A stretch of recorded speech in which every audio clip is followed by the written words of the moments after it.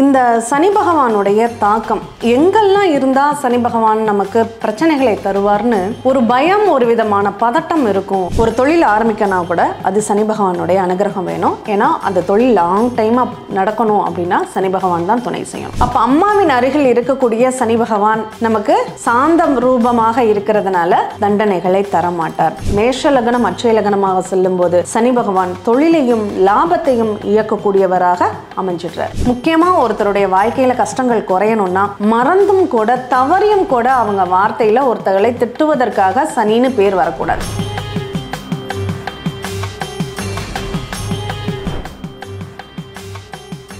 அனைவருக்கும் வணக்கம். ஏழ்பி அஸ்ட்ராலஜர் டாக்டர் சாந்தி தேவி ராஜேஷ்குமார். இந்த நாள் இனிய நாளாக அமைய வாழ்த்துக்கள்.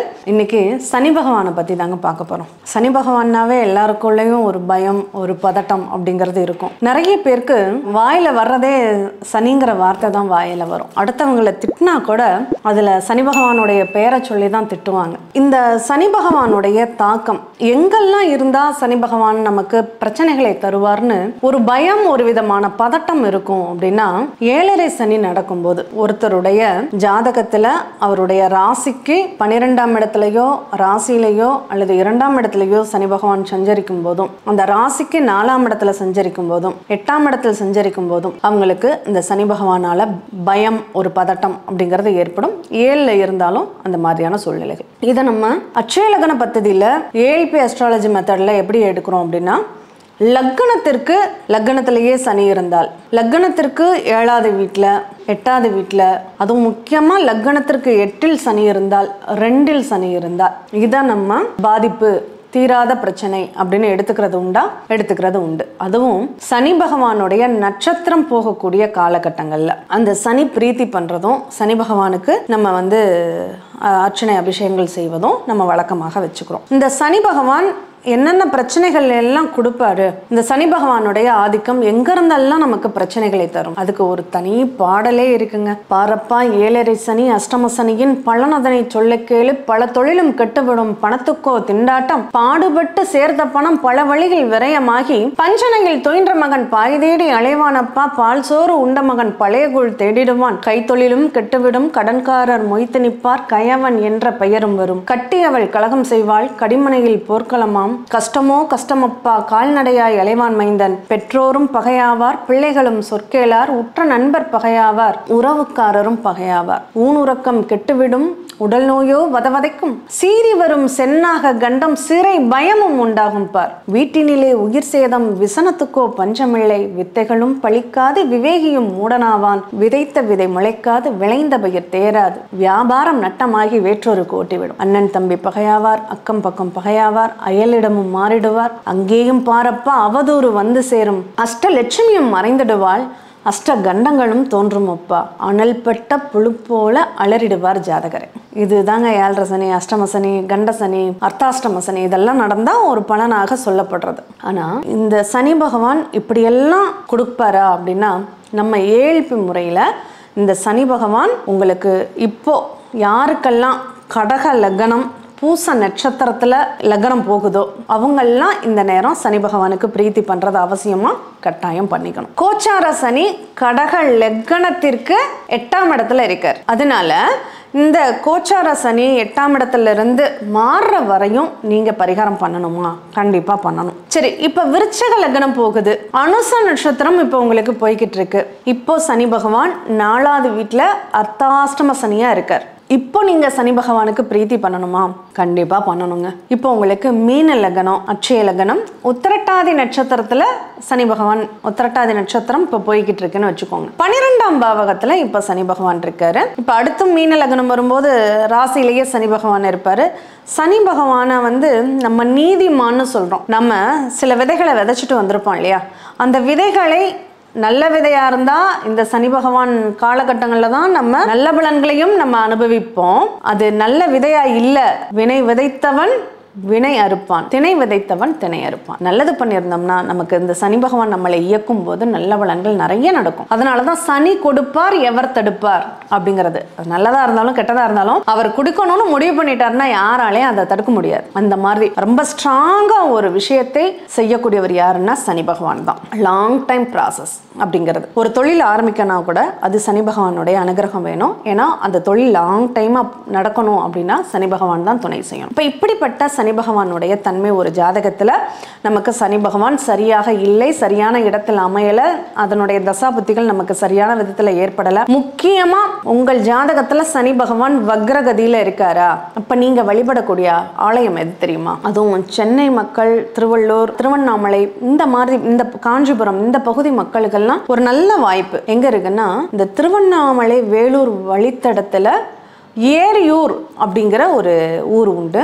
அங்க எந்திர வடிவில் சனீஸ்வரன் இருந்து அருள் பாலிக்கிறார் எந்திர வடிவில் ஆறடி உயரம் ரெண்டடி அகலத்துல எந்திர வடிவில் சனீஸ்வரன் இருந்து அங்க அதுவும் சூரியனும் சந்திரனும் அருகருகில் தன்னுடைய தாய் தந்தையர் அதுவும் இல்லாமல் சூரியனுடைய மனைவி சாயாதேவி பக்கத்துல இருக்கும்போது இந்த சனீஸ்வரன் அந்த எந்திரத்துல சனீஸ்வரனும் இருக்கார். அப்ப அம்மாவின் அருகில் இருக்கக்கூடிய சனி பகவான் நமக்கு சாந்தம் ரூபமாக இருக்கிறதுனால தண்டனைகளை தர மாட்டார் இப்போ இந்த சனீஸ்வரனுக்கு நம்ம என்னெல்லாம் பிரீத்தி பண்ணலாம்? பொதுவாக இந்த ஊரில் போய் மட்டும்தான் சனி பகவானை வ வணங்கணுமா அப்படின்னா வாய்ப்பு இருக்கிறவங்க ரொம்ப விசேஷமாக அதுவும் எந்திர ஸ்தாபனத்தோடு அந்த சனீஸ்வரன் இருக்கிறது ரொம்ப ரொம்ப விசேஷமான ஒரு அமைப்பு. அப்படி அதை போய் வழிபடணும் வழிபட முடியும் அப்படிங்கிற வாய்ப்பு இருக்கிறவங்க போய் வழிபாடு பண்ணுங்க. இல்லைன்னா சனி பகவானுக்கு நம்ம என்ன பிரீத்தி பண்ணலாம்? சனி பகவான் அப்படின்னாவே முதியோர்கள் முன்னோர்கள் மூத்தவர்கள் அப்படின்னு சொல்லலாம். அப்போ நமக்கு மூத்தவர்கள்ட்ட ஆசீர்வாதம் வாங்குறது. சனி பகவான்னா கால் அப்படின்னு அர்த்தம். நம்ம உடல் உறுப்புகள்ல அந்த கால்ங்கிற உறுப்பை இயக்கக்கூடிய பலசாலியார் நல்லா நடமாடணும் அப்படின்னா என்ன? கால் ஸ்ட்ராங்காக இருக்கணும். அப்போ அந்த நம்ம உடல் உறுப்புகளில் கால்ங்கிற ஒரு பகுதிக்கு காரணகர்த்தா யாருன்னா சனி பகவான். அப்போ அந்த சனி பகவான் நமக்கு நல்ல அமைப்பில் இருந்தால் தான் நம்மளுடைய இயக்கங்கள் சிறப்பானதாக இருக்கும். அப்போது என்ன பண்ணணும்? கால் ஊனமுற்றோர்களுக்கு நீங்கள் உதவி செய்ய வேண்டும். நடக்க முடியாத கால் ஊனமானவங்களுக்கு மட்டும்தான் உதவி செய்யணுமா? வயசானவங்க நடக்க முடியாதவங்க ஒருத்தர் துணை வேணும் அப்படின்னு நிலையில இருக்கிறவங்களுக்கு ஒரு ஊன்றுகோல் வாங்கி கொடுக்குறீங்கன்னா அது சனீஸ்வரனுக்கு செய்யக்கூடிய மிகப்பெரிய ஒரு பரிகாரம் அப்படின்னு சொல்லலாம். ஊனமுற்றோர்களுக்கு ஒரு சக்கரத்தில் நடப்பாங்க. அந்த சக்கரத்தில் உட்காந்து அவங்க நகர்ந்துக்கிட்டே போவாங்க. அந்த மாதிரி வாங்கி கொடுக்க முடியுமா? தாராளமாக பண்ணுங்க. இல்லை மூணு கால் சக்கர வண்டி வாங்கி கொடுக்க முடியுமா?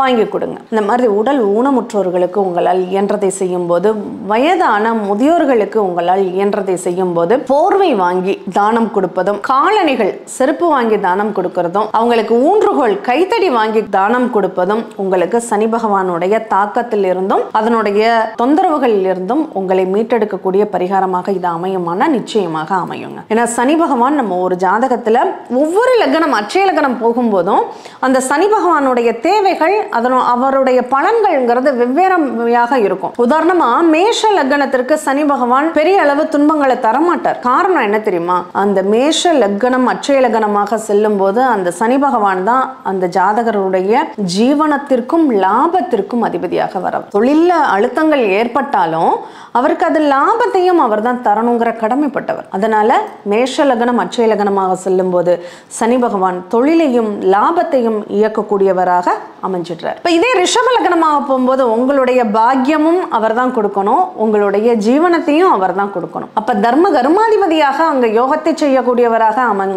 அங்க அமைஞ்சிடுறார். அப்போ எல்லாருமே சனி பகவான் நல்லவர் இல்ல. அவர் எதுவுமே செய்ய மாட்டாரு. அப்படின்னு ஒருத்தர் நமக்கு நல்லது செய்ய வர்றவங்கள கூட இந்த அச்சயலக்கண பத்ததி ஜோதிடத்தை தோற்றுவித்த திரு பொதுவுடைய மூர்த்தி சார் அவங்களுக்கு தான் நன்றி சொல்லணும். ஏன்னா அவங்க அடிக்கடி சொல்லக்கூடிய ஒரு விஷயம் ஒருத்தர் பண்ண மாட்டார் பண்ண மாட்டாருன்னா அவர் எப்படிங்க பண்ணுவார் அப்படின்னு அடிக்கடி கேட்பாங்க. அப்போ ஒருத்தரை நீ நல்லவன் இல்லை நீ எனக்கு எதுவுமே பண்ண மாட்ட அப்படின்னா அவங்க என்ன பண்ணுவாங்க?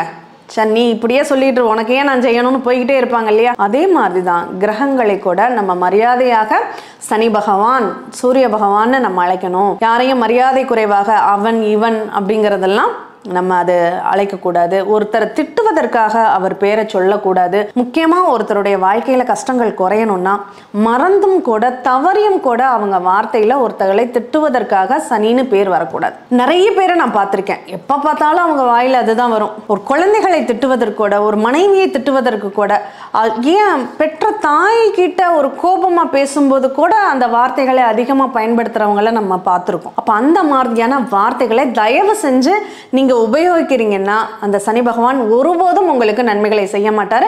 நம்ம வாழ்க்கையில ஒரு வளர்ச்சி நிலையை அடையணும் நம்ம வாழ்க்கையில ஒரு பொருளாதார மேன்மைகள் கிடைக்கணும் ஒரு தொழிலில் ஒரு நல்ல ஸ்ட்ராங்காக ஒரு ஸ்டெடியான ஒரு நிலையை நம்ம அடையணும் அப்படின்னா அதற்கு சனி பகவானுடைய அனுகிரகம் கண்டிப்பாக தேவை. அதை இதெல்லாம் நம்ம இந்த தவறுகளை எல்லாம் பண்ணணும்னா அவருடைய அனுகிரகம் ஒருபோதும் நமக்கு கிடைக்காது.